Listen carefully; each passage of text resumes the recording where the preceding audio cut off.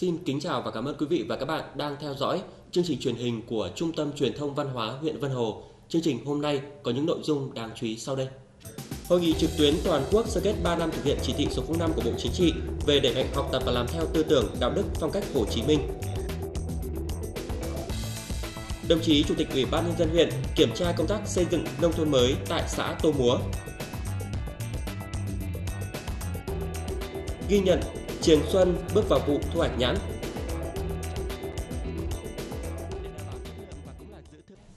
Bây giờ là nội dung chi tiết. Thưa quý vị và các bạn, ngày 20 tháng 8, Ban Bí thư Trung ương Đảng đã tổ chức hội nghị trực tuyến toàn quốc sơ kết 3 năm thực hiện chỉ thị số 05 của Bộ Chính trị về đẩy mạnh học tập và làm theo tư tưởng, đạo đức phong cách Hồ Chí Minh. Đồng chí Trần Quốc Vượng, Ủy viên Bộ Chính trị, Thường trực Ban Bí thư, đồng chí Võ Văn Thưởng, Ủy viên Bộ Chính trị, Bí thư Trung ương Đảng, trưởng Ban tuyên giáo Trung ương chủ trì hội nghị. Dự hội nghị tại điểm cầu huyện Vân Hồ có đồng chí Nguyễn Đức Toàn, Bí thư huyện ủy, đồng chí Lương Văn Huân, Phó Bí thư Thường trực huyện ủy, Chủ tịch Hội đồng nhân dân huyện cùng các đồng chí trong ủy viên Ban chấp hành Đảng bộ huyện, đại diện các chi đảng bộ cơ sở.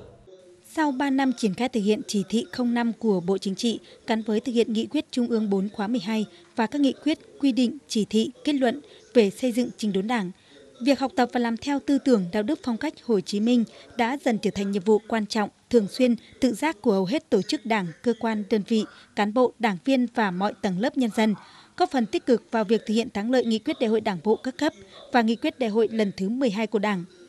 Từng bước ngăn chặn sự suy thoái về tư tưởng, chính trị, đạo đức, lối sống và những biểu hiện tự diễn biến, tự chuyển hóa trong nội bộ, giải quyết kịp thời, có hiệu quả nhiều vấn đề nổi cộm, bức xúc ở địa phương, cơ quan, đơn vị. Công tác tuyên truyền được triển khai dưới nhiều hình thức đa dạng phong phú. Tại tỉnh Sơn La, việc xây dựng và học tập chuyên đề hàng năm được triển khai nghiêm túc và thiết thực, góp phần nâng cao năng lực lãnh đạo, sức chiến đấu của tổ chức đảng và chất lượng đội ngũ cán bộ, đảng viên, siết chặt kỷ luật, kỳ cương, cải thiện môi trường đầu tư, đẩy mạnh quy trình sản xuất tiêu chuẩn, xây dựng chuỗi giá trị trên một số sản phẩm nông sản có lợi thế. Tiếp tục phát huy những kết quả đã đạt được, đồng thời nghiêm túc khắc phục những hạn chế khuyết điểm và tiếp thu những kinh nghiệm sau 3 năm thực hiện chỉ thị 05 của Bộ Chính trị. Thời gian tới, toàn Đảng, toàn dân và toàn quân ta sẽ phát huy tính chủ động sáng tạo, nâng cao tinh thần trách nhiệm của cấp ủy các cấp, đổi mới nội dung, hình thức chỉ đạo và tổ chức thực hiện đảm bảo thiết thực, phù hợp, hiệu quả với từng địa phương, đơn vị, góp phần thực hiện thắng lợi nhiệm vụ phát triển kinh tế xã hội, bảo đảm quốc phòng an ninh, xây dựng Đảng và củng cố hệ thống chính trị ngày càng trong sạch, vững mạnh. Ngày 20 tháng 8, đồng chí Nguyễn Huy Anh, Phó Bí thư huyện ủy, Chủ tịch Ủy ban nhân dân huyện cùng đoàn công tác của huyện đã đến kiểm tra công tác xây dựng nông thôn mới tại xã Tô Múa. Để đẩy nhanh tiến độ xây dựng nông thôn mới trên địa bàn, thời gian qua xã Tô Múa đã tích cực tuyên truyền vận động nhân dân hưởng ứng với phương châm nhà nước và nhân dân cùng làm. Theo đó đã thực hiện bê tông hóa 3 km tuyến đường liên xã, 8 km tuyến đường liên bản, 3 công trình kênh mương được kiên cố hóa với 1,12 km tại các bản Suối Liếm, Tong Kiêng và Bản Khảm. Thu nhập bình quân đầu người của xã đạt khoảng 12 triệu đồng trên người trên năm. Tỷ lệ người dân tham gia bảo hiểm xã hội đạt 91%. 1.305 hộ dân được sử dụng nước sạch hợp vệ sinh. Tỷ lệ hộ gia đình sản xuất kinh doanh thực phẩm tuân thủ các quy định về đảm bảo an toàn thực phẩm ngày một nâng cao. Năm 2016, xã được công nhận đạt tiêu chí quốc gia về y tế giai đoạn đến năm 2020. Lĩnh vực văn hóa giáo dục tiếp tục được quan tâm. Tình hình an ninh chính trị, trật tự an toàn xã hội được đảm bảo.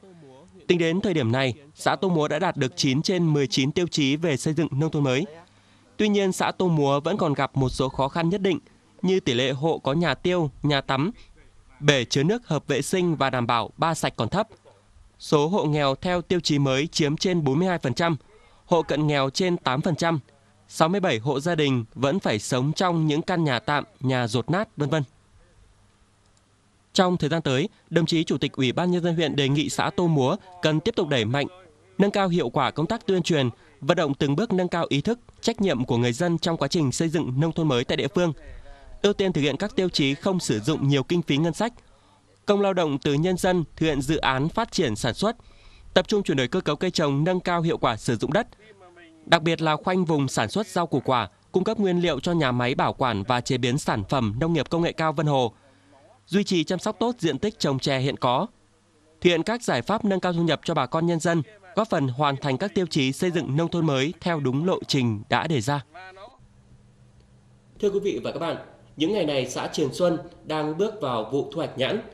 Qua tìm hiểu được biết, giá thu mua nhãn năm nay cao hơn nhiều so với năm 2018. Đây là tín hiệu đáng mừng và hứa hẹn một vụ mùa bội thu với những người trồng nhãn nơi đây. Đến thăm vườn nhãn của gia đình ông Nguyễn Văn Dân tại bản Suối Quanh, xã Trường Xuân, một trong những hộ đi đầu trong phong trào trồng nhãn ở địa phương. Năm 2012, sau nhiều năm kiên trì chăm sóc giống nhãn địa phương nhưng năng suất quả vẫn đạt thấp, chất lượng kém. Gia đình ông Dân đã tìm hiểu về giống nhãn lồng Hưng Yên nổi tiếng và quyết định ghép cải tạo toàn bộ diện tích cùng với việc áp dụng quy trình kỹ thuật chăm sóc, thời điểm tỉa cành, bón phân, vân vân. Đến nay vườn nhãn của gia đình ông đã sinh trưởng, phát triển tốt, năng suất, chất lượng quả năm sau luôn cao hơn năm trước. Nhờ vậy giá thu mua cũng cao hơn, thương lái tìm đến mua nhiều hơn. Mỗi năm trừ chi phí, gia đình ông cũng thu nhập hàng chục triệu đồng, góp phần cải thiện cuộc sống. Gia đình nhà tôi là có vào ờ, một hecta đất trồng được làm à, 200 cây nhãn. À, năm nay thu hoạch được à, 5 năm rồi. Hàng mỗi năm thì gọi cho thu hoạch là được ba 40 triệu. Như năm nay thì gọi là mùa mất nhưng mà gọi là giá thì được. Cái tính bình quân là thôi thì tất cả thu tất cả vào là cả các cây ăn quả nó vào mỗi năm được 7 80 triệu. Bình quân kinh tế gọi là ổn định. Khu vườn rộng gần 4 hecta này của gia đình chị Nguyễn Thị Toan cách đây vài năm chỉ trồng ngô lúa, nhưng bây giờ đã được thay thế, phủ kín bằng vườn cây quả, đặc biệt là cây nhãn. Sau hơn 5 năm ghép với giống nhãn Hưng Yên đã thu hoạch. Hàng năm gia đình chị thu hàng chục tấn nhãn, riêng năm nay mới đầu vụ gia đình chị Toan đã thu hơn 4 tấn nhãn và bán ra thị trường với giá 20.000 đồng một kg. Sản lượng à, cứ tính bình quân như là chắc là năm nay nhà tôi cũng được khoảng 10 tấn. Nhãn của chúng tôi năm nay là do nó mất mùa nhưng là bà con chúng tôi được cái giá nên chúng tôi rất là phấn khởi. Mong là cái giá và cả nó cứ ổn định như này giúp đỡ cho bà con nông dân chúng tôi đỡ vất vả. Nhờ chất lượng quả to, vị ngọt, vỏ mỏng, cùi dày mà nhiều năm trở lại đây, các thương lái miền xuôi tìm về xã Trường Xuân, huyện Vân Hồ để thu mua nhãn khá đông với giá mua vào cũng rất ổn định, giúp người dân từng bước mở rộng diện tích. Ờ, tôi lên đây uh, mua nhãn trên này được 5 năm rồi. Thì tôi đánh giá cái nhãn ở trên Trường Xuân này là nó quả to, ngọt. Mà tôi mang về dưới ờ, Ninh Bình chúng tôi bán đấy. Thì nói chung là họ đánh giá là rất là tốt. Thì uh, được cái nhãn là nó ngọt, thì dễ bán. Hiện nay Trường Xuân có khoảng 328 hecta diện tích trồng cây quả, chủ yếu là xoài, nhãn, bưởi, cam và bơ. Riêng diện tích trồng nhãn khoảng hơn 150 hecta, được trồng tập trung nhiều nhất tại bản Suối Quanh. Năm nay sản lượng nhãn toàn xã ước đạt khoảng trên 100 tấn quả tươi. Để đảm bảo chất lượng và cũng là giữ thương hiệu cho nhãn Trường Xuân, chính quyền xã đã cử cán bộ khuyến nông xuống từng hộ gia đình hướng dẫn quy trình chăm sóc và đặc biệt khuyến cáo người dân không sử dụng các thuốc bảo vệ thực vật nhằm đảm bảo an toàn thực phẩm khi xuất ra thị trường.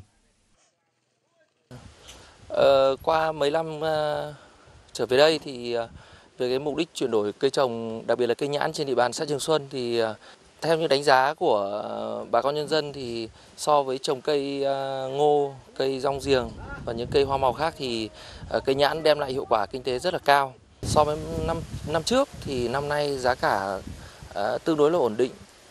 bình quân hiện nay là với nhãn thương phẩm bình thường thì là giá bán là 20.000 đồng trên 1 kg. Thế còn đối với nhãn chọn, nhãn đẹp thì từ 22 đến 23.000 đồng thì so với ờ, vào năm ngoái thì ờ, ờ, tăng giá là tăng gấp đôi. Với thành công bước đầu từ mô hình trồng cây ăn quả trên đất dốc, đặc biệt là cây nhãn của xã Trường Xuân đã mang lại hiệu quả kinh tế cao, từng bước làm thay đổi nhận thức, cách làm ăn, chuyển đổi cơ cấu cây trồng của bà con nơi đây, giúp bà con nhân dân nâng cao thu nhập, cải thiện đời sống, xóa đói, giảm nghèo.